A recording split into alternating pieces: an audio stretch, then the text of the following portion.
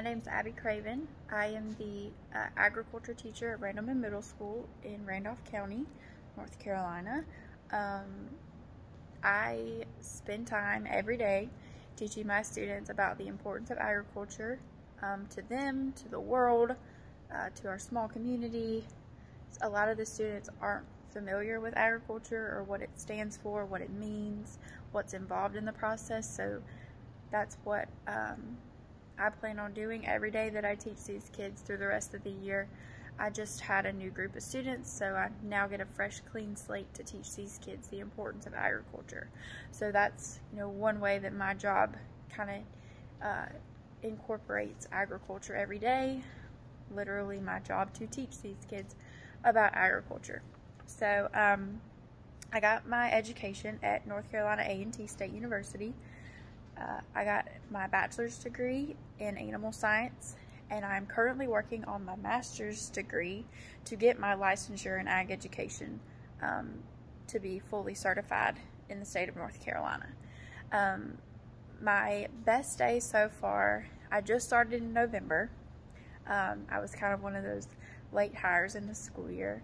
Um, I've had a lot of best days actually, just my best days are when I see these kids' faces light up and they know the answer or they're so excited about what we're learning or they enjoy the activity um, that we're doing and you can just see the light in their eyes. That's, that's what my best days consist of. Um, my biggest challenge so far is just the stipulations that we have right now. We're doing um, a hybrid kind of thing. So half of our kids are fully remote at home, and then we do A day, B day for those kids that come on campus. So I see four different groups of kids every week, and it is very um, hard to kind of make sure that everybody's on the same page uh, with not having all of my kids in the classroom, it's very hard for me to do the hands-on activities and lessons that I would like to do, um, but I try to make it work as good as I can. And so far, I've made it work. Um, might have had a little challenges here and there, but you pull through. Um, and then just some advice that I would have for whoever is looking to possibly become an agriculture teacher. I know, you know, this at first, this was not where I wanted to be. I wanted to do something, you know, in poultry or beef or something like that, but this is where I ended up and I don't regret coming here. I, I, love my job. I love seeing those kids' faces light up when I teach them about the importance of agriculture um, and all the the uh, opportunities that it can bring to them.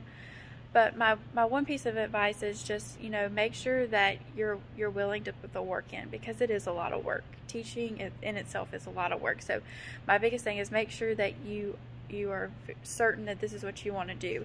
If you're somebody who just loves teaching about agriculture and getting involved with the kids in FFA and giving them all sorts of experiences, then go for it. Okay, this is that's what this job is all about. Um, I know my agriculture teacher in high school was one of my big influences of how I even, you know, decided that I wanted a career in agriculture some way, somehow.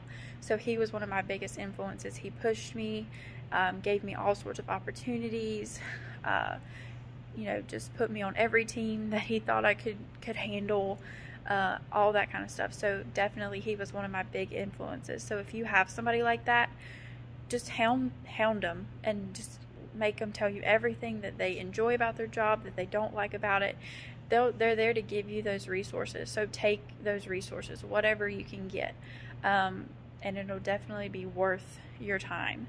I'm still learning as I go. I didn't go for agriculture education. I'm going right as of right now, but I'm going day by day and I'm, you know, going with the flow and making it work. So, um, but my biggest advice is just make sure that you are, you know, 100% on ready to give these kids the, the um, education that they need as far as agriculture goes. And if you're one of those that just loves teaching, loves getting hands on and um, putting that new that knowledge in, in heads and uh, seeing light bulbs pop on on top of their heads, and this is definitely the uh, the job for you.